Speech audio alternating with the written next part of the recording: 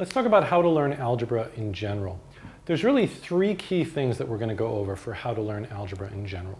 First, um, you have to realize that algebra is not this sort of amorphous concept that you have to tap into. All algebra really is doing is modeling what our brains already do. So when you get that, it kind of becomes easier. Like if I say, um, take a number and double it, and I say, okay, how about five? You do five times two, and that's 10. That's algebra, because we say take a number and double it.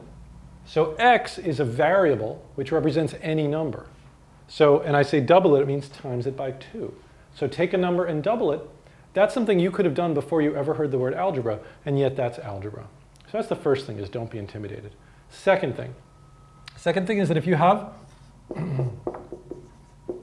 an algebraic expression and you want to solve it, to solve it, it means get the variable alone, isolate the variable. The way we're going to do that is by eliminating everything that's near the variable. Okay? So in this case, we're going to take the 3 away and then take the 2 away. The way you do that is you do the opposite of whatever you've got.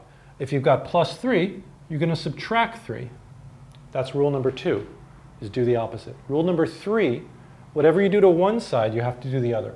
If you follow these three rules, don't be intimidated. To get rid of a number, to eliminate it, do the opposite. Whatever you do to one side, do to the other. If you follow these three rules, algebra is not so bad. So we're going to subtract 3 from both sides. That cancels. It's why we did it.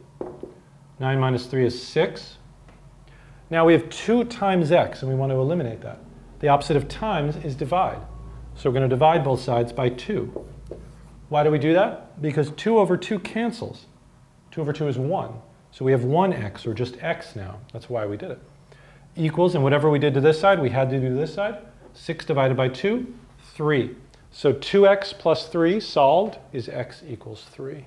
Sorry, 2x plus 3 equals 9 solved is x, is x equals 3.